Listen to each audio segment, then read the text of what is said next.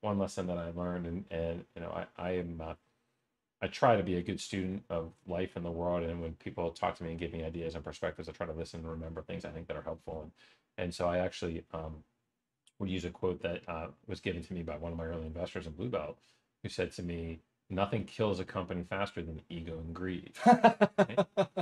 and and what Amen. you just described, right? This idea that you know they don't want to be upfront, tell folks, or they're stubborn about facing reality.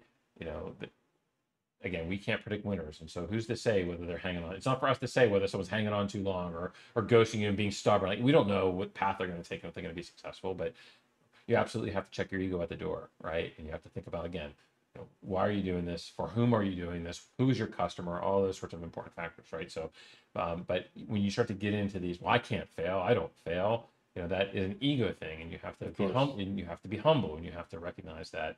Um, you know, sometimes things will work out like you hope, and sometimes they won't. And and being able to deal with the good, the bad, and the ugly uh, is an important characteristic of being an entrepreneur and an innovator. So, so I would say, you know, check your ego at the door, right? Make the decisions Amen. based on the facts, make on the decisions based on what's best for your company, yourself, your customers.